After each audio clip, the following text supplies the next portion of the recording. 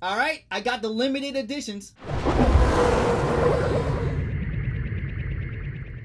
All right, it's Friday and I wanted to start this video before I take a shower so that I can go ahead and use one of these three bars and try to get this video done and uploaded by Sunday or Monday. So I just recently tried the black stuff for the first time and I think it's really good, especially the ingredients. I just uploaded my first impressions review of the black stuff soaps a couple hours ago. So if you haven't seen it yet, I'll leave a link on the outro. So I got all 10 soaps on the black stuff website, but the three limited edition bars were all sold out. So shout out to Cody Condiff on Facebook for selling me these three limited edition bars. If you're looking to buy some bars online, he's a trustworthy seller. I found him in one of the private Facebook groups that talk about and deal soap. And there are a slew of other trustworthy sellers and buyers in these groups as well. Just be sure to get some references before dealing with one to make sure you're not dealing with a scammer. You can look up some of these Facebook soap groups for yourself and see if you want to join any of them. I will actually be starting one in the near future where the focus will be on soap reviews and recommendations. So hopefully it will become a good source for people to find the soaps they're looking for. So when I and other YouTubers drop a new soap review, they can post it in my group. Alright, that's enough talk. Let's get to these limited edition soaps. So I'm going to go ahead and give each of these a sniff test. And I can tell you just from holding these up from a distance, I can tell they already smell good. I have not smelled these yet. This will be my honest first impression. And then after giving them the sniff test, I'm going to pause this video. And over the next two to three days, I will test each one in the shower. And then resume the video and let you know what I think after using them. So we've got the Shamrock Saint. What's your poison? And of course, Relax the Cacks, which is extremely popular. And it was just re released on the website yesterday, and they dropped a Relax the Cacks deodorant as well. But it seems like these are selling fast, so by the time I upload this video in two to three days from now, they may be sold out. But you can check for yourself and see if they're still in stock. I'll leave a link to the Black Stuff website in the description. Alright, so because the Relax the Cacks bar is so popular, it has raised my expectations sky high. So, I'm going to give the Relax the Cacks bar the sniff test first.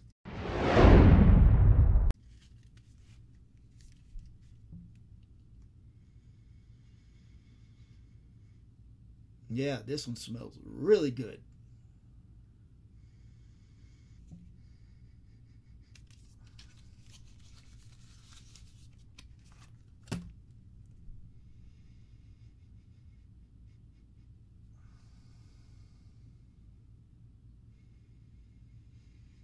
It's like there's an orange scent, a mint scent, and almost kind of like an amber scent. So it says on the box that this is low grit and features honey, rosemary, and menthol crystals.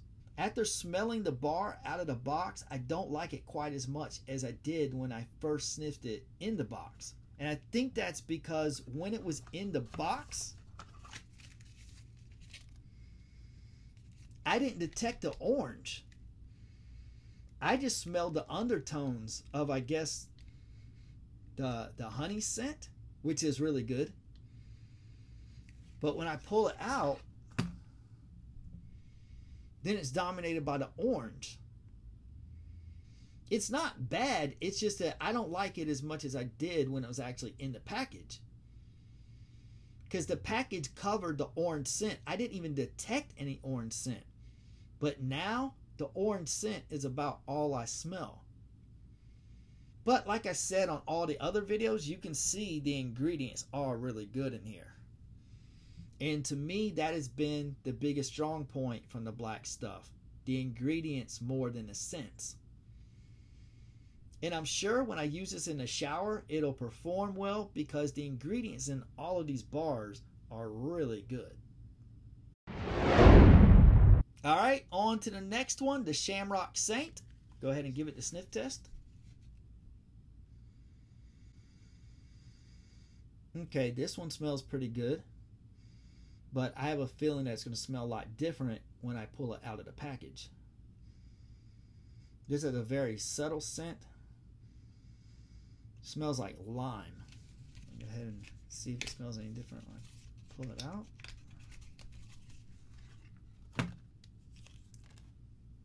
And show it to you. See what it looks like. Yeah, this is a very plain bar. You don't see much in there, but the texture is really good, so you know that the ingredients are in there. Okay, yeah, this one smells different than it did in the package. I do still detect lime. It's almost like I smell wood with it, like lime and wood. At least that's my first impression. And maybe some type of some type of liquor. So my first impression is lime, wood, and liquor. Let's look at the box and see what the package says. All right, so this one is also low grit and it says silk, honey, and goat's milk. So apparently I was way off. but it does say a masculine lemon and lime, so I was right about the lime. Sorry, my camera doesn't focus better so that you can read the text better. All right, so I can now detect the honey a little bit. But it also smells like there's some kind of liquor in here. I don't know if it's bourbon or whiskey or what, but it definitely smells like some kind of liquor. All right, and last and maybe not least, I guess we'll find out if it's least or not. What's your poison? Go ahead and give it the sniff test. This one smells good out of the box, but we'll see if it smells different out of the package.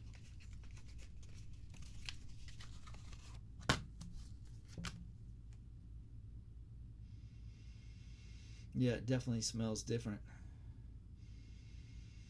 Smells kind of piney, almost like a pine tar. Smells good though. I like it.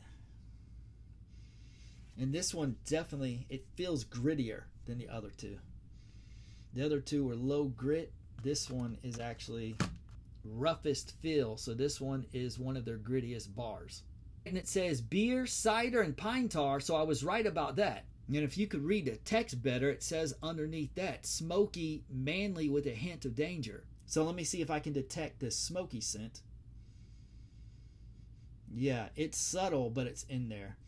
So pine tar and smoke. And it says there's beer and cedar in here. I'm not really picking up on the beer. And the cedar's always so subtle, you can never really pick up on that.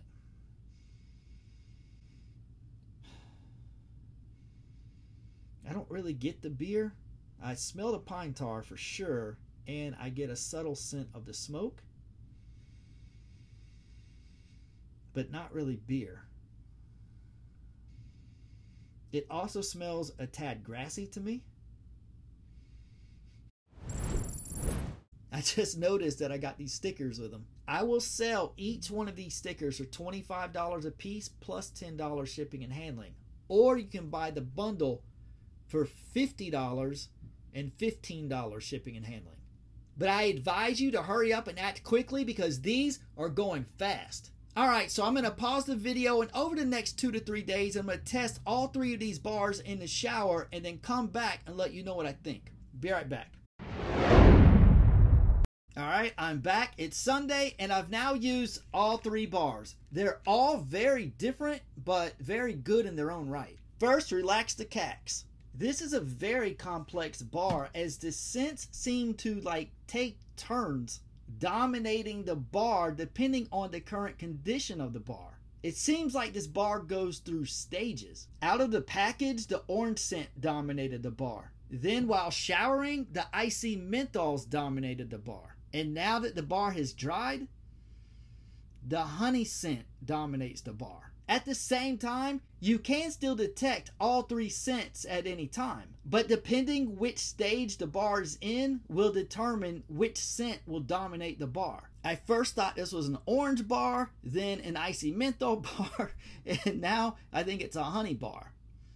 But I can still smell the icy menthol with the honey pretty strongly, and I can also still smell an undertone of orange.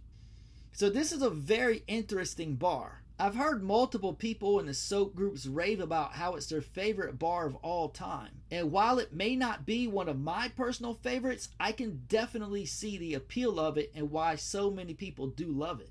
The reason I don't love it more is because I'm not crazy about orange or icy menthol scents.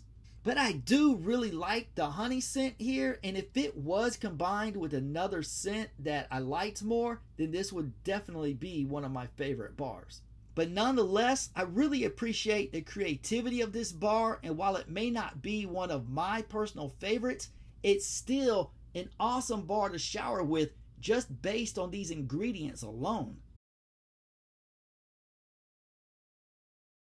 Next, I used What's Your Poison, and the scent on this one altered in the shower as well. When smelling it out of the box, it smelled like pine tar with a very faint, smoky undertone. But when using it in the shower, the smoky scent became much stronger and blended with the pine tar. Now it smells like smoky pine tar, which I think is very creative and works well and I can slightly detect a very subtle note of beer that is buried under the smoky pine tar. Smoky scents can be really good when they're done right, but if they're done wrong, they can be some of the worst scents you'll ever smell.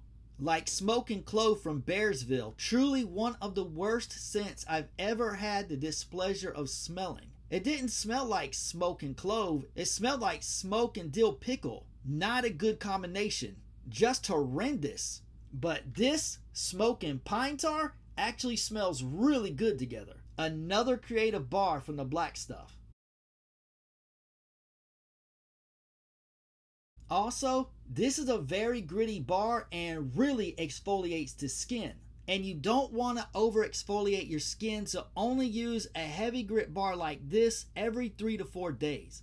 So, what you want to do is use one of these bars, the low grit bars, on days in between the heavy grit bars. Which brings us to the last bar of the limited editions, the Shamrock Saint. Now, this one is very smooth. It smells like lime with an undertone of honey, and it has goat's milk, so it feels really good on your skin in the shower. Aesthetically, it's a pretty plain bar, not much to it. There's nothing wrong with it, it's just very simple. But it makes up for it with the high quality of ingredients in here. You you just can't see them very well. But nonetheless, it's a really good bar. So I just went to the Black Stuff website and saw that the Relax the Cacks is still available. And so I picked up the deodorant as well as the Mountain Irish Rain and the Bay Rum to add to the deodorants Mr. Black Stuff added to my previous order. So I will now have all five of the black stuff deodorants. Should I make a video ranking all five of them? Let me know in the comments if that's something that you'd like to see. So I now have all 13 of the black stuff soaps and I've had a chance to test seven of them out in the shower. And when I get a chance to test the other six out, I'll make a rankings video and let you know where I think each soap ranks in the catalog. On a positive note, none of the 13 are bad. Some of the scents I didn't care for as much as others, but the ingredients always made up for any other area that a bar may be lacking in. So be on the lookout for that rankings video in the near future. Alright, so that's about it for this review. If you've tried any of these limited editions, let us know in the comments what you think. If you like this video, give it a thumbs up, consider subscribing. Thanks for watching and God bless.